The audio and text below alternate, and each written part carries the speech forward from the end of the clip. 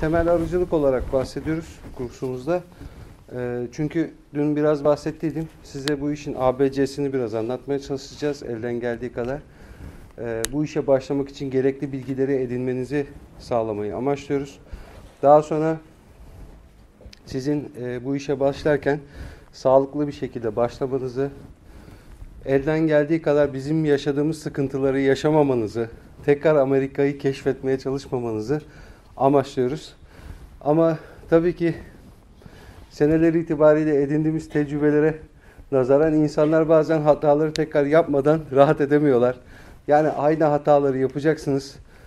Ee, burada da hayıflanmayın. Yani ya niye ben bunu işte derste de gördüğük hata yaptım?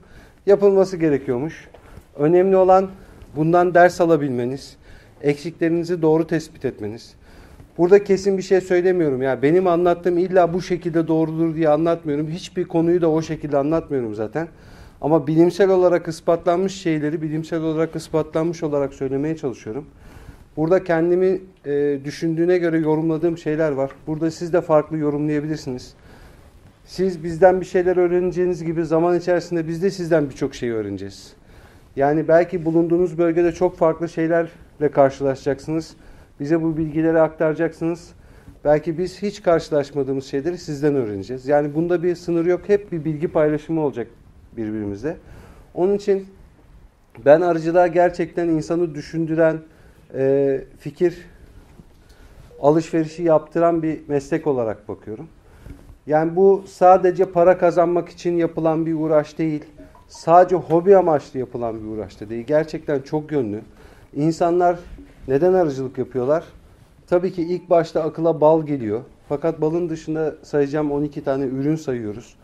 Birçok ürün var. Onun dışında arıcılık gerçekten bizde e, stresi atmamıza yardımcı olan, e, elimizin altında yetiştiriciliğini yaptığımız farklı bir canlı. Bu hem elde edilen ürünlerin çok değerli olması bakımından çok önemli.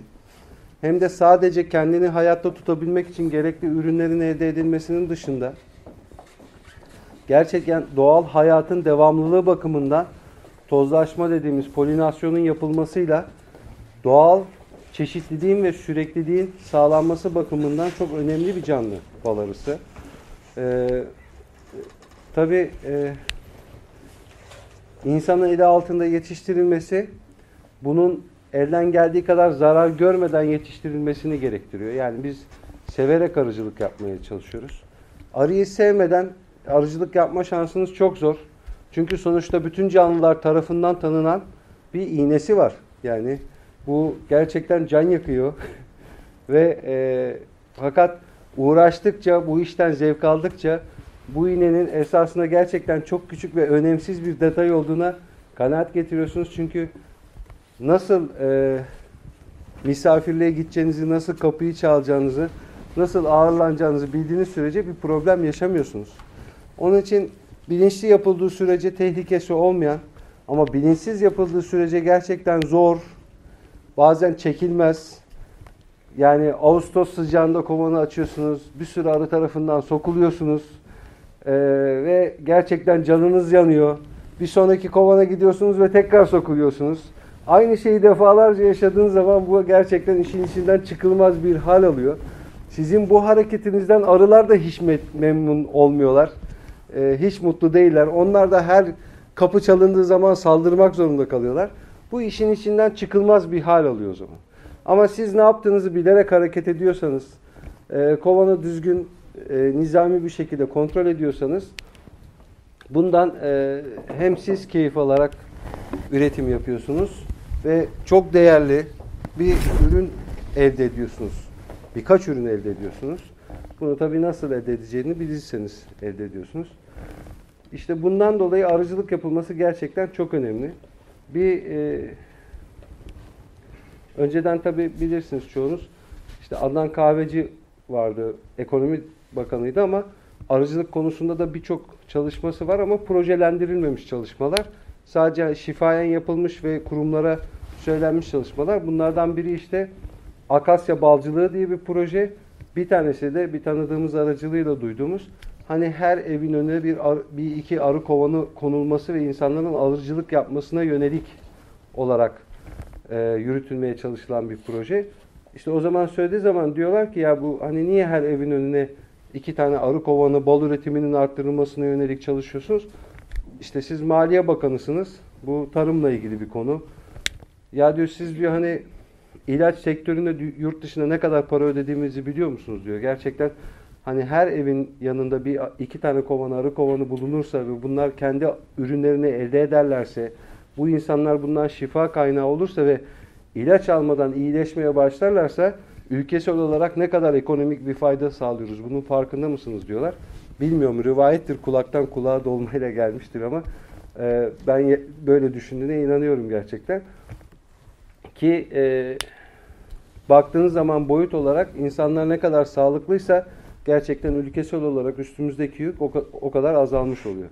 Gene Akasya Balcılığı projesiyle il- ilgili de bir şey söyleyeyim. Çünkü bunları söylememin gerekçesi arıcılığa başlayan e, birçok çevrede duyuyoruz. işte Akasya Balcılığı varmış, Macar Akasyası özellikle diye bir... Hocam nasılsınız? Hoş geldiniz. Hoş geldiniz. Halk eğitimimizin bayağı sayımız fazla. Değil mi? Evet hocam. Hani projeksiyonla. Projeksiyonu haf- Evet, bal- balımız hazır diyorsun ya. Hazırlıklı gelmiştin yani. Hazırlık.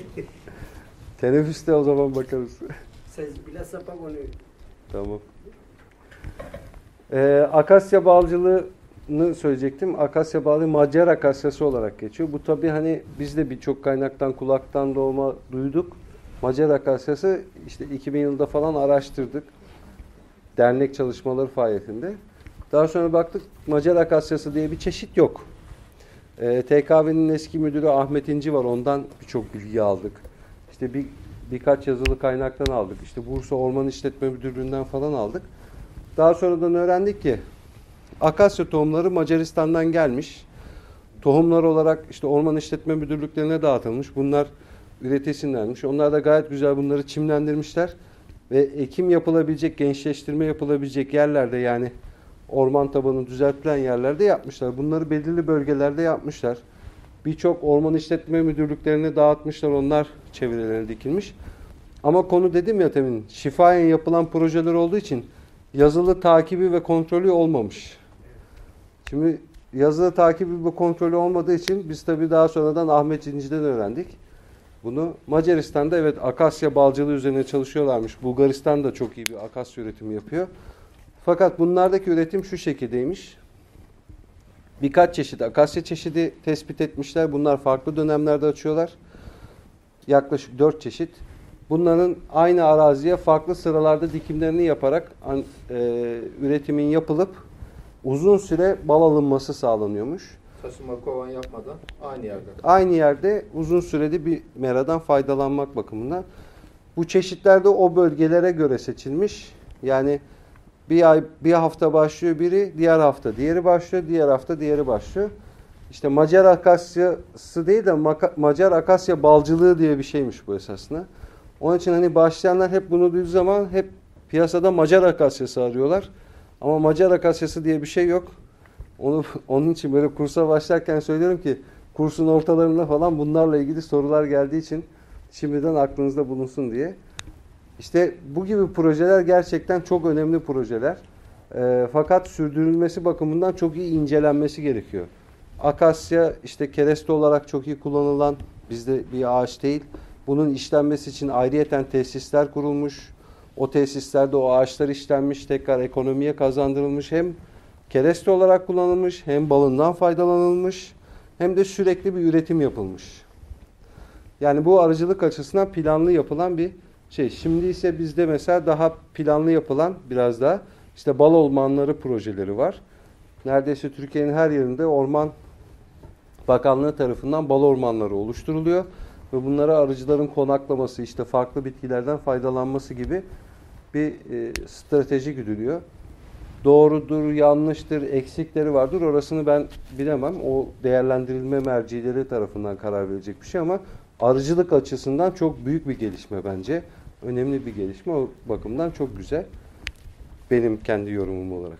İşte arıcılık yapılması bakımından insan sağlığı açısından çok önemli ürünlerin elde edilmesi ile ilgili olarak ön planda tutulan bir üretim. Şimdi e, tabi insanlık tarihi boyunca arıcılık çok ön planda tutuluyor dedim ya. Tabi bal elde edilmesi, bal mumu elde edilmesi gibi özelliklerinin yanında işte e, arkeolojik çalışmalarda, kayalarda, mağaralarda arı ile ilgili motifler bulunmuş. İşte e, Hint, Mısır, Yunan, Roma, Sümer, Babil e, uygarlıklarında incelendiği zaman bal ve bal arısı ile ilgili yazıtlar, kitabeler, e, Mısır'da milattan önce 1600 yıllarda popülüslerde balla beslendikleri ve tedavi yaptıklarına dair e, yazıtlar bulunmuş. Gene piramitlerde piramitlerde işte Firavun'un mezarının içinde 3800 yıllık bal ve hiç bozulmadan bulunmuş. Yani burada balın ömrü bazen çok soruluyor işte bal. Geçen seneki bala bir şey olur mu? 5 sene önceki bal vardı elimizde işte bozulmuş mudur diye. Yani Firavun'un mezarından çıkardıklarına göre hala bozulmadığına göre demek ki bal bozulmuyor. Evet bal yapısını olarak inceleyeceğiz. Ee, %80 oranında karbonhidrat şeker içeren bir ürün. %20'nin altında nem içeriyor ve bu balın olması gereken özelliği. Bu özellikle olduğu zaman bal sadece kristalize oluyor. Yani halk tabiriyle şekerleniyor. Ee, şekerlenmesi balın bozulduğunun bir ibaresi değil. Sadece bir kendini koruma, saklama konumuna almış gibi bir özellik. Ve bu, say bu, bu şekilde gene uzun sürede beklese hiçbir şey olmuyor. Isıyı biraz arttırdığınız zaman sadece çözündüğü zaman bal gene kullanılabilir. Özelliklerini korur bir hale geliyor. Gene Romalılar aynı zamanda balı yemeklerinde kullanmışlar. Bunlarla ilgili kayıtlar bulmuşlar. Yunanlılar arıcılığı Mısırlılardan öğrenmişler. Çünkü Mısırlılarda da gerçekten temin dedim ya Firavun mezarında bulunmasının yanında işte e, Firavun'un mumyalanması gibi bir işlemde de mumyalanma mum gene bal mumu kullanılıyor. Gene ölünün işte saklanmasında bala yatırıyorlar, balda koruyorlar. Bu e, gene Yunanlarda da milattan önce 400 yıllarda pardon ölüleri balda saklamayı kullanmışlar. Bu bize de şunu gösteriyor. O zamanlar da demek ki antibakteriyel özelliğe sahip olduğunu yani balın içerisinde mikrobun üremediğinin, çoğalmadığının o zamanki insanlar tarafından da tespit edildiğini, bozulmadığının tespitinin bir ibaresi. Gene milattan önce 400'de Hipokrat tarafından bal e, tedavi amaçlı olarak kullanılmış. Bununla ilgili arşivsel kayıtlar bulunmuş. Gene dün söylemiştim. Kur'an'da, Zebur'da, Tevrat'ta, İncil'de, kutsal kitaplarda baldan ve arıdan bahsediliyor. Dün hatta hatta Nahl suresinde 68 ve 69. ayetlerde geçiyor. Gene İncil'de geçiyor, Tevrat'ta geçiyor. Ve bu sayede e, dinler tarafından da kutsal bir canlı olarak görülmüş ve arı daha büyük önem sağlamış. Şimdi e, arıcılık alanında gerçekten hani bazı şeylerle mesela Langustrot kovan, Dadantı'dan bilmiyorum ama Langustrot kovan, Langustrot kovan da işte bir papazın ismini taşıyan bir kovan. Yani o da niye böyle yapılmış? Çünkü dini e, olarak kutsal sayılmasının yanında işte dini yapıların bulunduğu yerlerde din adamları tarafından bilimsel olarak araştırılmış. Bu tabi hani din adamları tarafından değil, o zamanlar e, yüksek eğitimin yani yüksek eğitim yapılan kurumların dini kurumlar tarafından yapılarak e, geliştirilmesinden kaynaklı olarak onlar da araştırarak bir şeyler bulmaya çalışarak yapmışlar ve böylece işte e, arı konusunda yeni buluşlar, yeni şeylerin bulunması hep bu sayede olmuş. Tabi bizde de Anadolu'da da çok ön planda. Onunla ilgili de gene projeksiyon sunumlarında da size tekrar e, gözden geçireceğim. Uzun yazılar var çünkü onları tekrar size uzun uzadığı okumak yerine oradan gördüğünüz zaman daha net e, görsel şey yapacaksınız. Bizde de orman balcılığı bakımından işte Osmanlı dönemlerinde falan hep arılar konusunda kayıtlar var.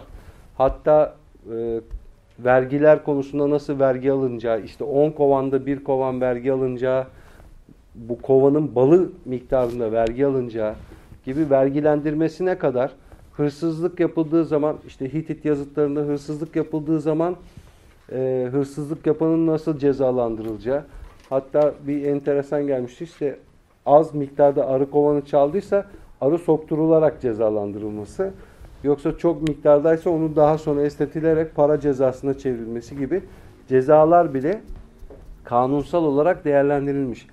Bu bize neyi gösteriyor? Bu bize e, ciddi bir ekonomik değer olarak değerlendirildiğini. İşte orman balcılığı dedim, kayalardan veya işte ağaç gövdelerinden alınan balın değerlendirilmesi. Burada e, bal toplayıcısı olarak sınıflandırılan kişi balı alırken bir kişiye ait bir bahçeden bir ağaç gövdesinden balı aldıysa arıdan o yer sahibine ne kadar kira vereceği yani ne kadar kira vermesi gerektiği bile kanunlaştırılmış. Yani bu kadar detaylı ve e, ince olarak işlenmiş. Tabi daha yakın tarihlere gelirsek biraz daha e, tabi burada arıcılık konusunda ülkemizde bir ordu arıcılık araştırma enstitüsü var. Daha önce Bursa'da İpek Böceği ve Arıcılık Araştırma Enstitüsü olarak bir enstitü varmış. Daha sonra bu artık faaliyet göstermiyor. Ee, çok ciddi e, arşivsel kayıtların tutulduğu bir enstitü olmadığı için hani biz elimize geçen kaynaklarla hep değerlendiriyoruz. Türkiye'de de Cumhuriyet döneminden sonra biraz arıcılık Osmanlı'dan kalma olarak gelişmiş ama tekrar sektelemiş, tekrar gelişmeye başlamış. Yani ciddi bir dalgalanma göstermiş. Bu dalgalanmayı ben şahsen şuna bağlıyorum. Ee, arıcılıkla uğraştığım için ona bağlayarak geçiyorum. Elinizde mesela kovan sayınız artıyor ama ülkesel manada da kovan sayınız artıyor. Bir hastalık geliyor. Ciddi arı kayıpları meydana geliyor. Ve sektör bir geriliyor. Sonra tekrar bu hastalıkla mücadele veya hastalığın ortadan kalkmasıyla karşılaşıyorsunuz. Ee, daha sonra tekrar bir kalabalıklaşıyor nüfus, arı topluluğu. Daha sonra gene bir hastalık veya kötü hava koşulları, kötü şartlarla karşılaşarak tekrar bir gerileme meydana geliyor. Bu e, çok uzun soluklu köklü işletmelerin kurulması bakımından sıkıntı oluşturuyor. Ama demin dediğim gibi işte enstitü benzeri kurumların köklü olarak oturması bu arşivsel kayıtların e, saklanması ve tekrar araştırılarak bulunmaya çalınma, çalışılmasını ortadan kaldırmış oluyor. Şimdi e, son 20 yıl içerisinde 15 yıl 20 yıl arası içerisinde gerçekten hızlı gelişmeler var. İşte birlikleri falan söyledim. E, enstitüler daha faal çalışıyorlar, daha arşivsel çalışıyorlar. Sivil toplum örgütleri, işte üretici örgütleri ve e, daha önce kurulan arıcılık meslek yüksek okulları bunlarda da eğitim yapıldığı için araştırmalar yapılıyor. Oradaki işte hocalar sonuçta bir şeyleri kayıt altına alıyorlar ve gerçekten bu ciddi bir arşivsel kayıt oluşturuyor. Bu daha sonra tekrar derlenip toplandığı zaman daha sağlıklı bilgilerin sunulması sağlanacaktır. O bakımdan gerçekten e, bence daha ilerisi aydınlık gözüküyor. E, ama arıcılık bakımından gerçekten çok iyi bilgilerin toplanması, değerlendirip doğru bilgilerin sunulması çok önemli. Ülkemizde de işte arıcılık bu şekilde gelişmiş ve biz dünyada ciddi bir arı topluluğuna sahip bir ülke konumuna gelmişiz. Dünyanın ikinci büyük arı topluluğuna sahip ülkeyiz. Birincisi Çin. Ee, hem nüfus bakımından hem yüz ölçümü bakımından da büyük bir yapıya sahip. Biz ikinci sırada büyük bir yapıya sahibiz. Dün tabii arkadaşımız sormuş hani farklı ülkelerde üretim miktarları ile ilgili işte bizdeki miktarla ilgili. Onunla ilgili bir şey daha söyleyeyim. Bizde hani miktar 16 kilo dedik. Bazıları 9 kilo olduğunu söylüyor. Bazen daha az gözüküyor. Koloni sayıları da bazen çok yüksek gibi, bazen çok düşük gibi. Çok e, değişik rakamlar çıkıyor. Onda şunun da biraz etkisi var. İşte resmi olarak kaçarım var dediğiniz zaman insanlar önceki kayıtlarda bazen miktarı az söylemeye çalışıyor. Ama bu itibar konusu olduğu zaman hani bunun kaç arısı var ya bunun 200-300 arısı var falan şey geliyor. Yani bu koloni miktarı çok değişken bir şey. Yani arıcılığın mantığında da çok değişken bir şey gerçekten. Çünkü hani sezona 50 kovanla başlayıp sezonun içerisinde kovan sayınız birden artıyor. Kış geliyor kayıplara uğradığınız zaman kovan sayınız birden düşüyor. Yıl içerisinde çok dalgalanma gösteriyor. Tabii bu kendi tabiatında dalgalanma gösterdiği zaman bu kovanı kaç kovanınız var dediğiniz zaman direktman size ne için soruyorsun diye bir cevap soru geliyor tekrar. Bu hani vergisini mi alacaksın yoksa işte arıların bir kısmını sana mı vermem gerekiyor gibi şeylerle dolayı hani miktar hep değişik ama son bu 10 yıldır arıcılık kayıt sistemi gibi bir kayıt sistemimiz var. Burada bakanlık artık hani internet üzerinde kayıt yaparak kovanlar plakalanarak kayıt altında tutuluyor. Burada sadece sizin beyanınız yeterli olmuyor. Siz bir beyan ediyorsunuz. Daha sonra yıl içerisinde bir e, bakanlık görevlisi gelip iki kişi kontrol ediyorlar. Ne kadar hırsı var. Onlar da kaydı güncelliyorlar. Ve bu sayede kayıt altına alınıyor. Ee, tabii bunda da eksikler hala oluyor. Tam daha sistem oturmuş değil. Ama en azından bir başlangıcı var. Biraz daha sağlıklı bilgiler ön plana çıkıyor. Zaman içerisinde daha iyi oturacaktır. Daha iyi bir hal alacaktır. Ama bal konusunda da aynı kovan gibi hani kaç kilo bal aldın bu itibar meselesi ise miktar artıyor. Yok bunun bir e, yarın öbür gün vergisi çıkar diye aşağı düşüyor. Üniversitede hocalarımız da hep aynısını söylerdi. Yani bir proje çalışması için gidiyorsunuz. İşte üniversitede bir TÜBİTAK projesi yapacaksınız. Elinizde bir form var. Bilgi toplamaya çalışıyorsunuz. Ya diyordu hoca kravatlı, gömlekli işte takım elbiseyle gittiğimiz zaman bilgi toplayamıyoruz diyordu. Adam vergi memuru diye söylemiyordu. Kaç ineğin var söylemiyor. Ya koyun kaç tane söylemiyor. Bir türlü bilgi alamıyoruz diyordu yani.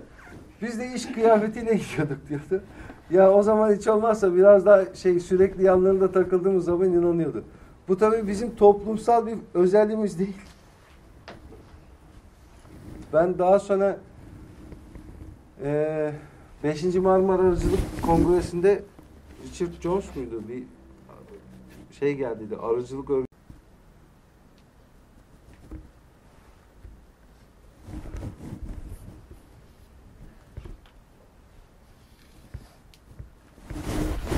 Ee, o o bir sunum yaptı. Hatta biz hani Yalova'dan giderken geç kalmıştık. O bizden önce bir sunum yapmıştı. Biz bir grup hatta başka ilden de arkadaşlar gelmişlerdi. Saat işte 10'da biz orada olduk ama o 9'da çıkıp sunumunu yapmış. Ama herkesin o kadar çok hoşuna gitmiş ki sunum. Dediler ki ya harika bir sunum yaptı. Gerçekten dinlemeniz lazımdı falan. Salonda kaç kişi var dedim. İşte 30-40 kişi vardı. Daha herkes gelmemişti dediler. Rica ettik tekrar sunum yaptırdık. Hani gerçekten kayıtları falan bulursa tekrar dinlemek isterdim. Çünkü kaçırdığımız bir şeyler vardır. O anlatırken de o da böyle dedi yani yurt dışında kendi ülkesindeki insanları söylerken hani arı sayısı kaç dediğiniz zaman herkes iki tane der diyor. Ama diyor gerçekte diyor 15-20 tane kovanı vardır hep vergi. Demek ki dedim dünyanın her yerinde arıcılık aynı. Değişen çok bir şey yok. Yani genel bakıldığı zaman herkes bir şeyden çekiniyor. Ee, onun için e, o bakımdan gerçekten sadece bizde değil biz kendi ülkemizdeki durumu biliyoruz.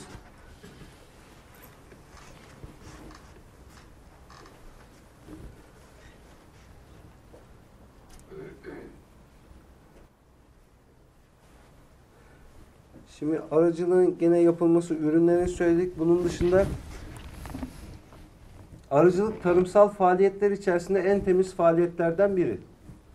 Yani hem diğer faaliyetlere göre de daha rahat olan bir faaliyet.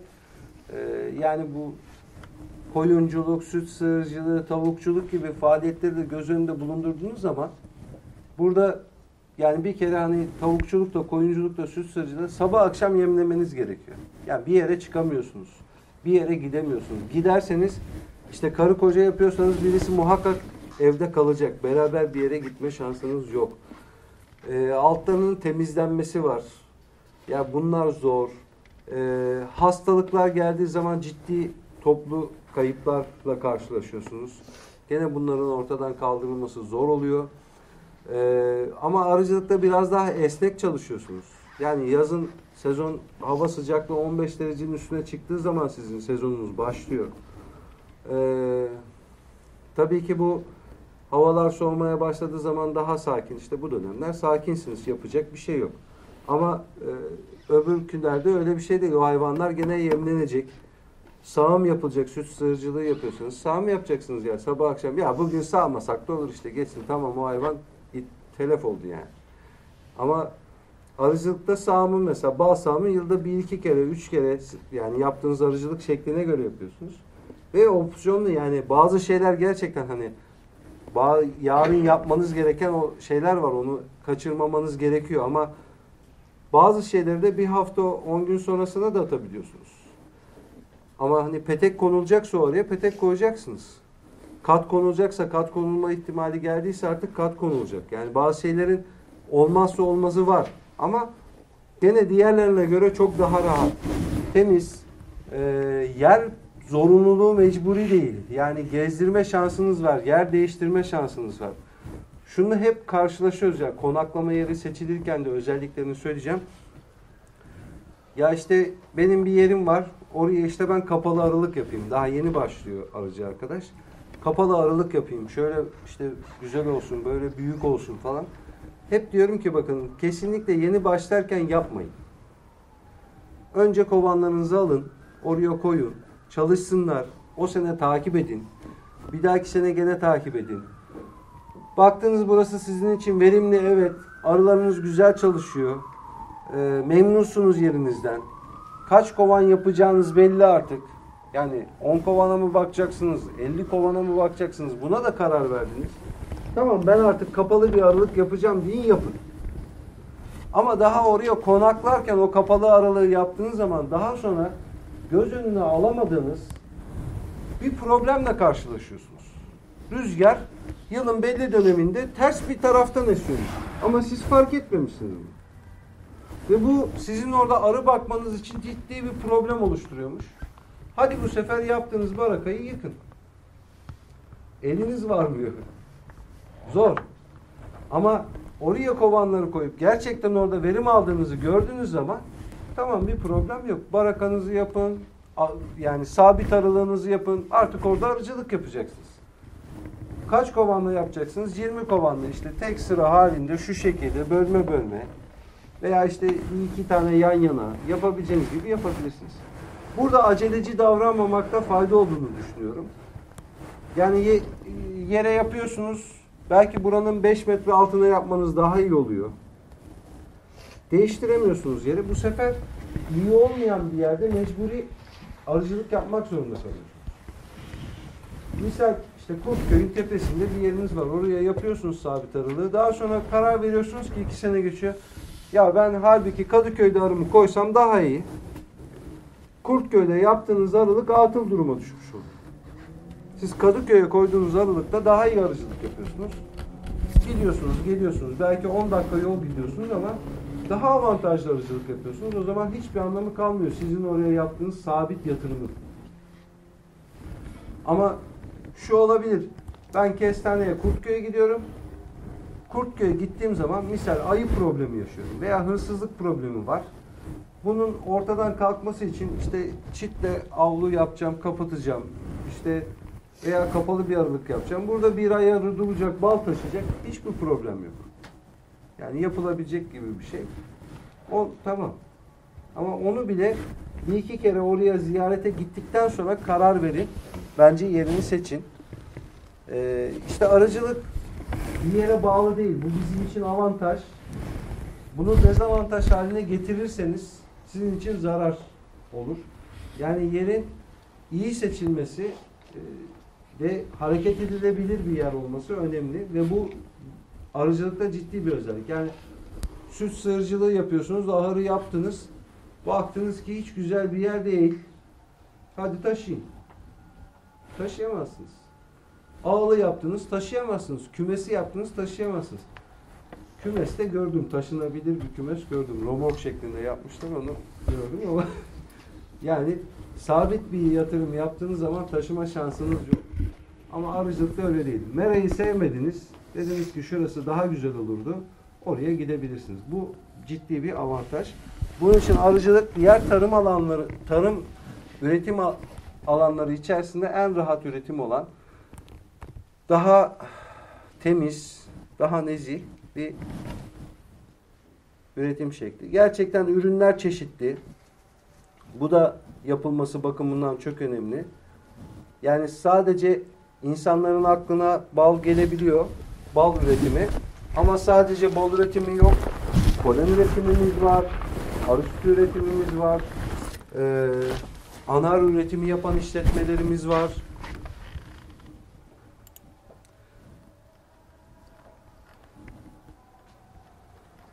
Veya aynı işletmelerde bal, polen, bal mumu, arı sütü, propolis gibi ürünlerin üretilmesi söz konusu ve bunlar tarımsal bir getiri sağlıyor. Ee, doğal ürünler elde ediliyor, sağlık açısından kullanılıyor, faydaları var. Ee, bu bakımdan ciddi bir getiri sağlıyor. Konaklama için illa konaklamadan bahsederken konaklama için illa bir yer almanız, satın almanız gerekmiyor. Ee, Orman Bakanlığı arılar, arıcılara arı konaklama izni veriyorlar. Yani arılarımızı gidip orman alanında konaklama yapıyoruz. Bunun için yıllık izinler alıyoruz. Yani aldığımız izin bir yıl geçerli. Bir yıl sonra iznimizi tekrar yeniliyoruz. Buna sadece konaklama izni deniliyor. Yani orada yapısal olarak bir şey yapmıyoruz. Yani orayı sahiplenme gibi bir amacımız, hedefimiz yok. Sadece arılarımızı oraya koyup o meradan faydalanıyoruz ve süresi bittiği zaman kaldırıyoruz veya duruyorsak bir yıl sonra tekrar yeniliyoruz. Yani tekrar götürmüş getirmiş gibi oluyor ama yönetmelik buna göre düzenlenmiş. Ama e, orman işletmedeki arkadaşların hiçbiri gerçekten zorluk çıkartmıyorlar. Tamamen e, art niyetli tavır sergilenmediği sürece onlar da herhangi bir problem çıkartmadan gerekli izni veriyorlar ve arılarınızı koyabiliyorsunuz. Yani illa gidip bir yer satın almanız gerekmiyor. Sadece arıları kovanla arıyı satın almanız yeterli oluyor. Daha sonra e, tabii onu da söyleyeyim. İşletme numarası alıyoruz. Yani iki arınız da olursa tarıma gidip bir işletme numarası alıyorsunuz. Ve kovanlarımıza plaka alıyoruz. E, kovanlarımıza bulunan plakalar ve bizim işletme numaralarımız o kovanların bizim olduğunun ispatı arkadaşlar. Yani 2-3 kovanla arıcılık yapan arkadaş diyor ki bazen ya işte işletme numarası veya plaka almam şart mı? Değil. Bunun için bir iki kovanda gerçekten bildiğim kadarıyla tarımdaki arkadaşlar zorunluluk uygulamıyorlar.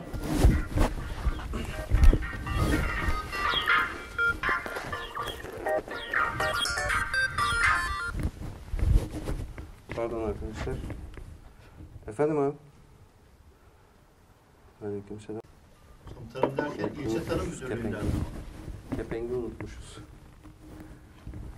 İl Tarım. Tarım ve İlçe Tarım Müdürlükleri, e, ilçe tarım müdürlüklerindeki ve il tarım müdürlüklerindeki bazen ilçe tarım müdürlüklerinde görevli olmuyor.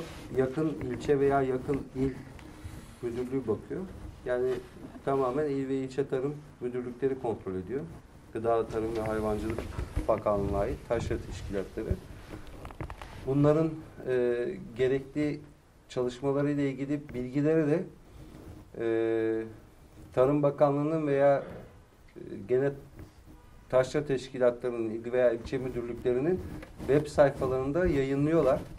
Gene onları takip etmekte de fayda var. Yani o linkleri bilgisayarınızda kenara koyun. Ara sıra bakıp hani yayınlanan bilgileri takip etmenizde fayda var. Tarımsal manalı çalışıyorsanız şey de var yani orada işte aşırı yağış, dolu e, gibi iklimsel olarak oluşabilecek sıkıntılarda da bilgi veriliyor. Hani günde gelip baktığınız zaman faydalı.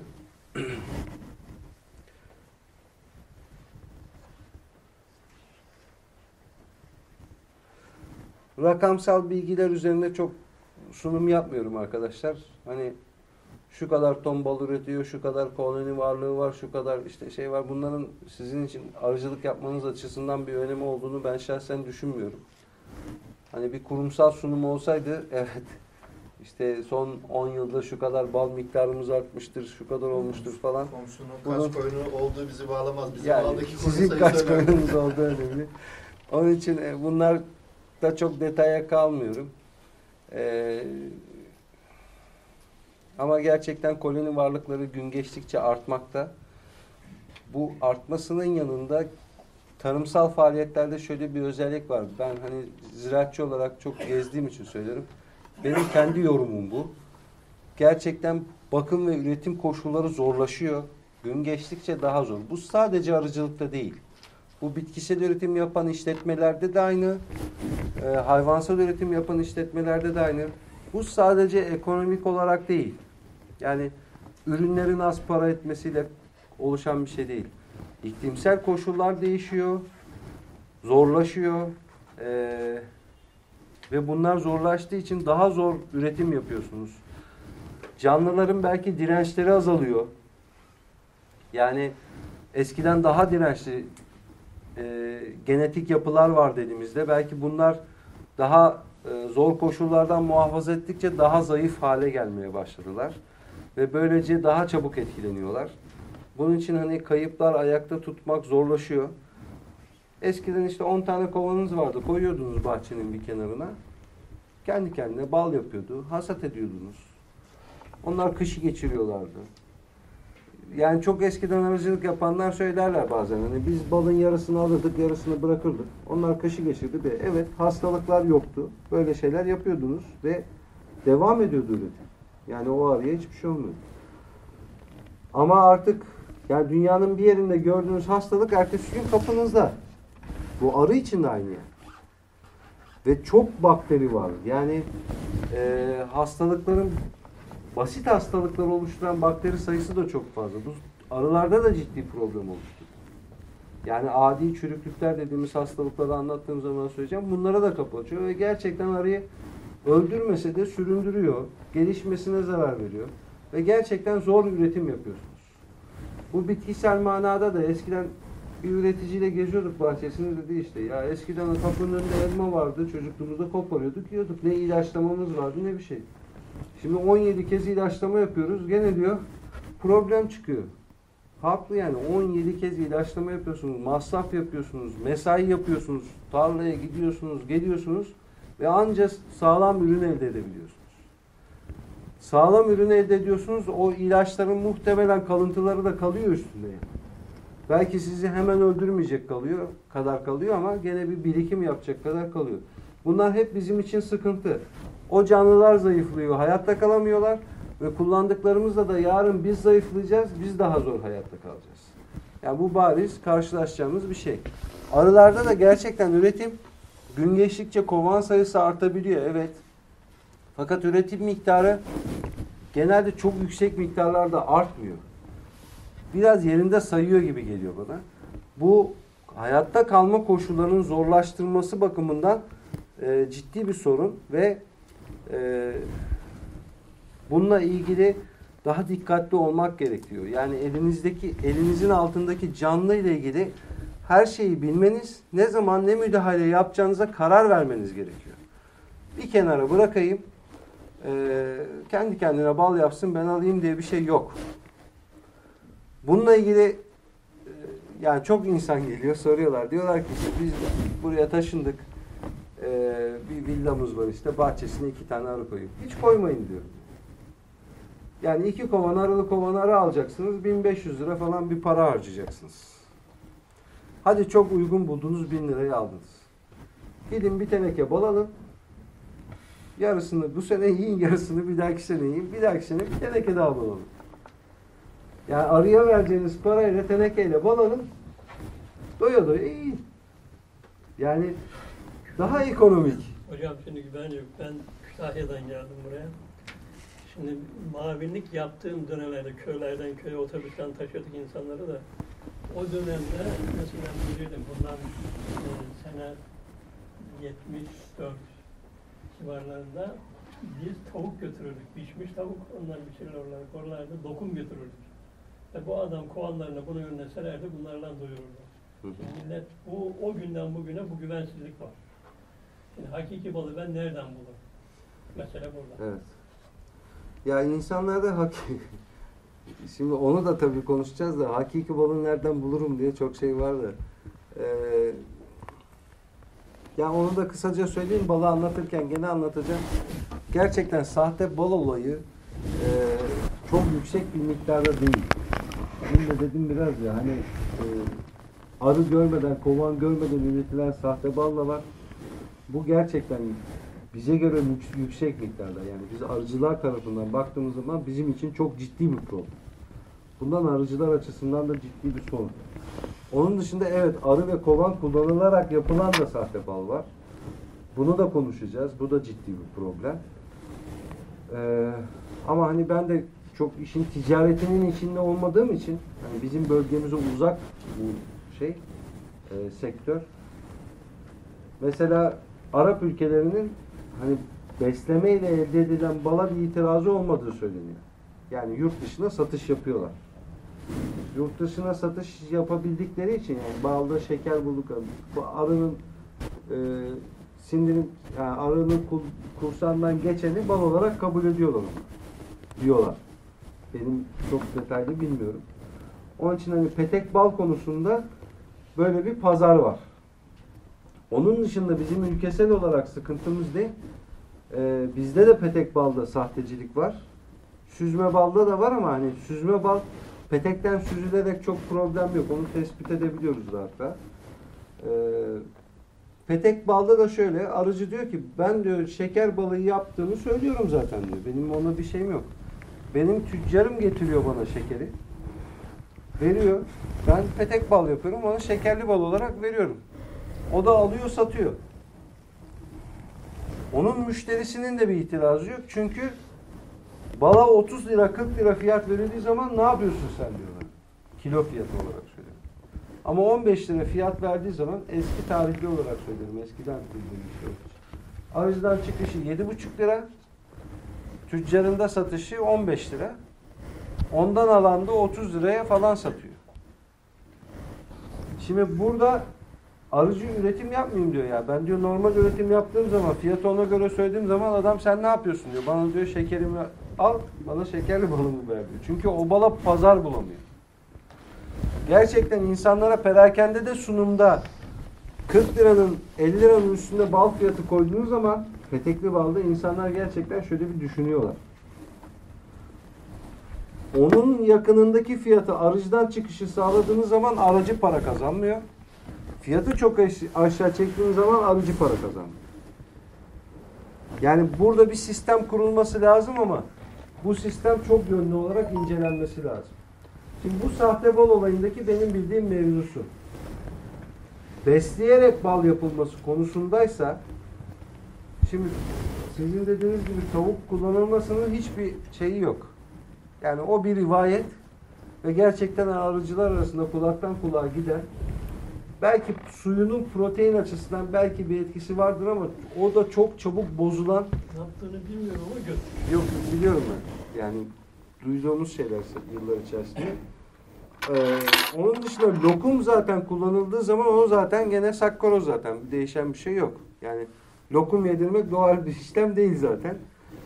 Ee, o da bir yan besleme. Ee, biz sahte balın bu üretim, genel üretim açısındaki içerisinde yani eskiden çoğunlukla yüzde on olarak sınıflandırıyordum. Hani bir hatam varsa yüzde yirmiyi geçeceğini sanmıyorum. Onun için size şöyle bir şey söyleyebilirim. Ayçiçek balındaki balın kilo fiyatı ne kadar? Arıcılık yapanlarınız çoğunuz var. Teneke fiyatının bu seneki teneke fiyatı 28 280 lira. Aralık şeyden aralıktan alınması. Kova yani kilo olarak balın fiyatı geliyor 12 liraya falan 11 liraya. Yani bu Türkiye'nin en ucuz balının fiyatı. Hakiki bal mı? Hakiki bal. Çiçek bal olarak herhangi bir problem yok. Tek problem çok çabuk kristalize olması. Yani çabuk kristalize olması ve şeker tanesi gibi iki iri taneli olarak kristalize olması. Yani ayçiçek balındaki problem bu. Kavanoza doldurup sattığınız zaman bir ay sonra o kristalize oluyor ve şeker tanesi gibi kristalize oluyor.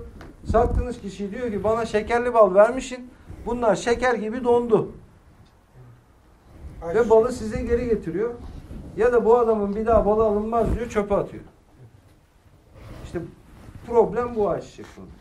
Onun için bunu arıcılar toplu halde çoğunlukla fabrikalara satıyorlar. Bal paketleme firmalarına.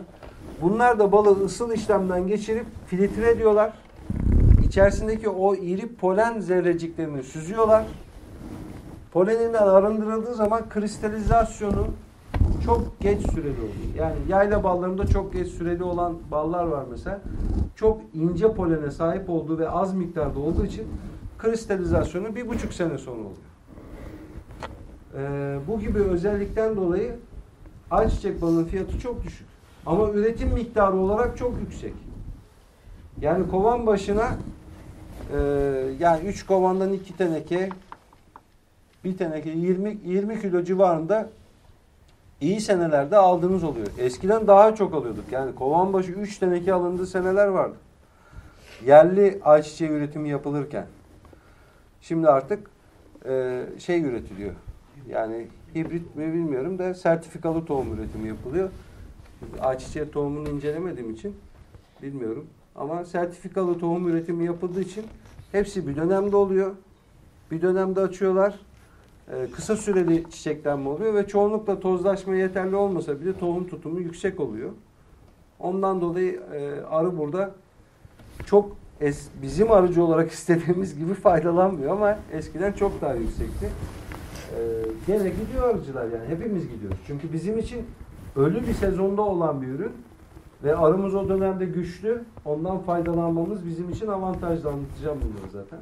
Ama hani ürün olarak fiyat olarak söylediğim gibi cüzi bir fiyat. Yayla balında toptanda verilen fiyat da bundan çok yüksek değil. Yani 300 liraları anca buluyor. 300-350 lira civarlarında. Yayla balındaki toptan fiyat. E bunu şimdi e, tüccar olarak düşündüğünüz zaman da çok anormal değil. Yani kestane balında biz mesela Yalova'da 1000-1500 civarında fiyatlar kestane balında. Şimdi söylediğin zaman tüccar olan bir kişiye diyor ki ben diyor kestane balı almak istemiyorum diyor. Onu tane tane satana kadar diyor uğraşıyorsun. Bir teneke bal satılmıyor diyor. Pazarı çiçek balı tüccar. Ama diyor yayla balını alıyorsun diyor. Bir teneke bitiyor. Yani ay içerisinde dört teneke, beş teneke satıyorsun. Ama kestane balını alıyorsun. Sezon boyu iki teneke, üç teneke satıyorsun. Yani paranın döngüsü bakımından da problemli. E bu tüccar açısından da cazip değil. İnsanlar da geldiği zaman hani balın kavanozu 100 lira dediğiniz zaman şöyle bakıyorlar, düşünüyorlar. Ee, Yani böyle bir bugünkü koşullarda